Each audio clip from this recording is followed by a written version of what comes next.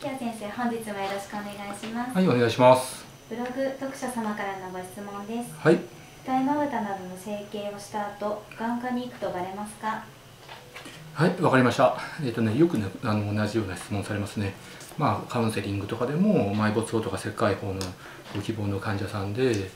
あの手術した後眼科に行くとバレますか？って聞く人あるいは手術した後の人で、まあ、電話とかで問い合わせがあって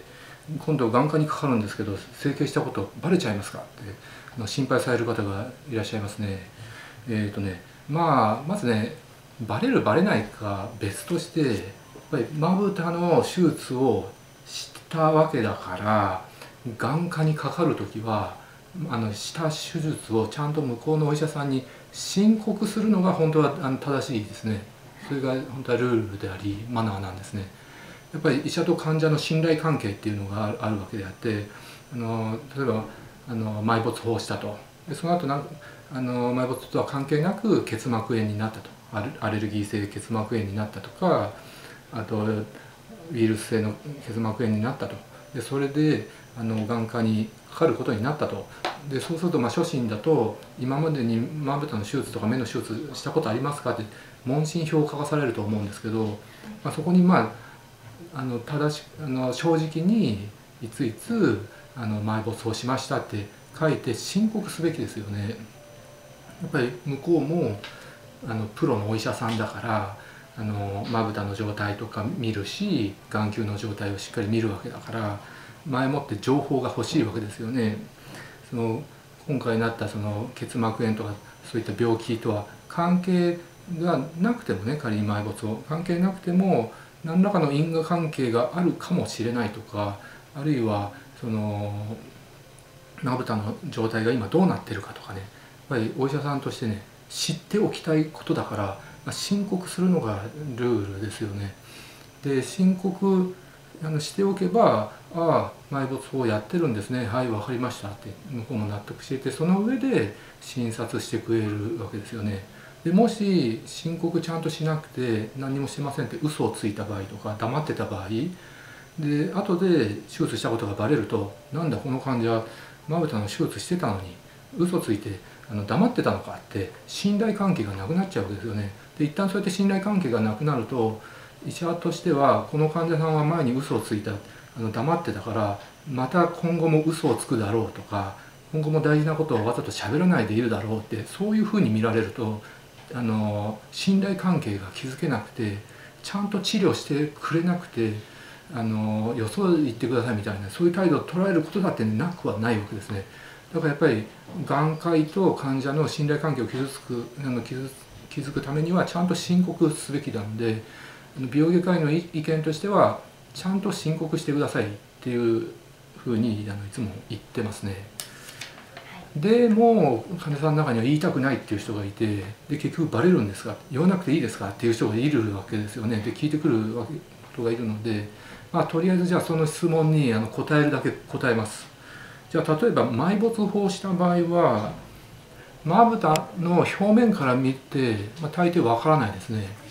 上手な埋没法してあればまぶたの表面から見てもわからないですね。で眼球をあのいろんな検査で見ても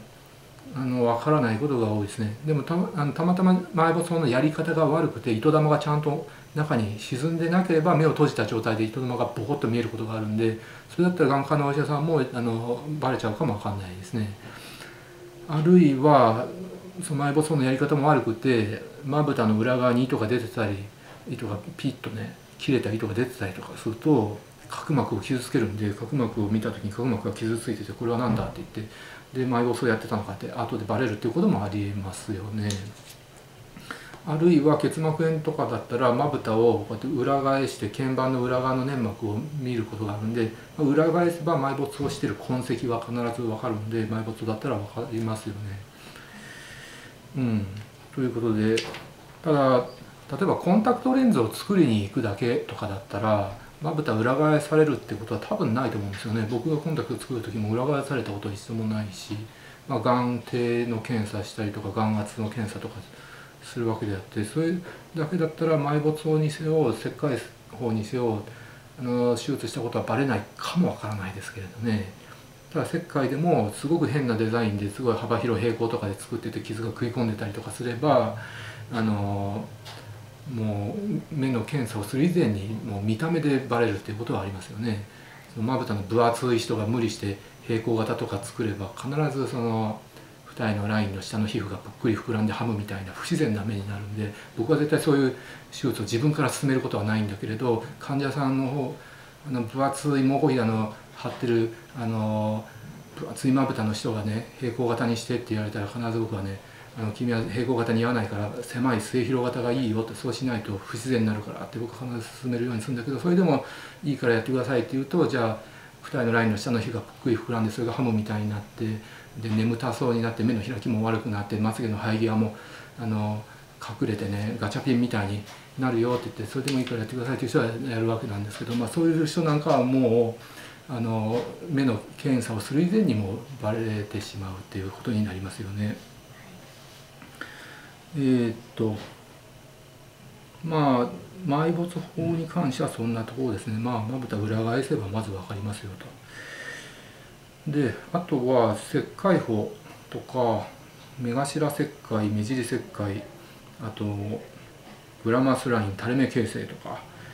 あと眼瞼下垂の手術とか、まあ、そういう手術はまぶたの表面からいじる手術なんでまぶたの裏には通常は痕跡は残らないですね。ただ垂れ目形成の場合はまぶたの裏側からアプローチする場合は下まぶたの裏側に傷跡が残るんですけれど表からだけやる場合は残らないですね、まあ、そういった表面からやる手術に関してはあの仕上がりが綺麗で傷跡が目立たなければ眼科の先生はあの分からないこともあるけれどでもが最近眼科の先生も結構その美容の世界に進出してきて眼科で開業してるんだけれど二重の埋没法やったりとか切開法やったりとかしてるところがあるからそういう眼科の先生はあのまぶたの美容整形の手術の知識とかがあるから、まあ、傷跡とか見て分かるってことは可能性はありますよね。ただまぶたを裏返して裏側に痕跡があるっていうのは切開二重とか目頭切開や目尻切開に関してはないですけどね。はい、ただやっぱり知識のある眼科の先生だったら分かるしまあ大体分かるんじゃないかなあの美容整形やってない眼科の先生でもやっぱり目の周りのことは一通り勉強してるはずだし正常の解剖と違う状態だったら分かるからまあどっちみちバレる可能性が高いわけですね。なので僕からのあの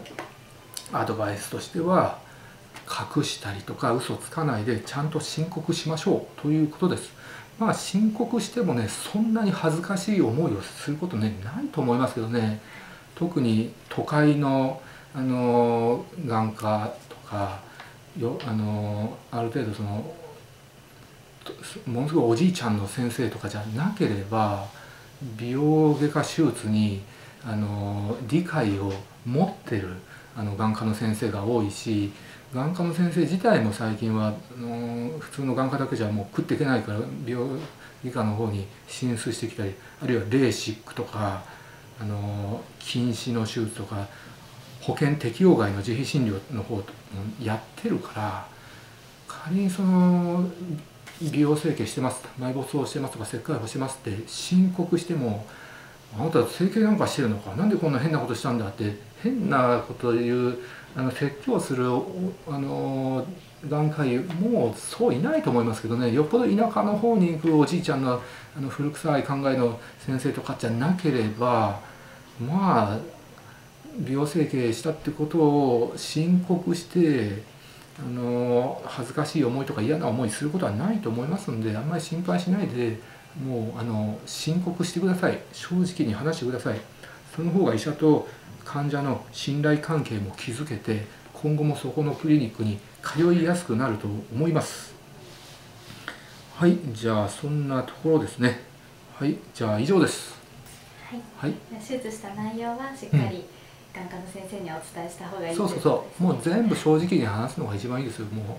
う下手に隠そうとか嘘つこうとかもう小細工しない方がいいです。もう全部正直に話しましょう。はい。はい。三木谷先生ありがとうございました。はいありがとうございました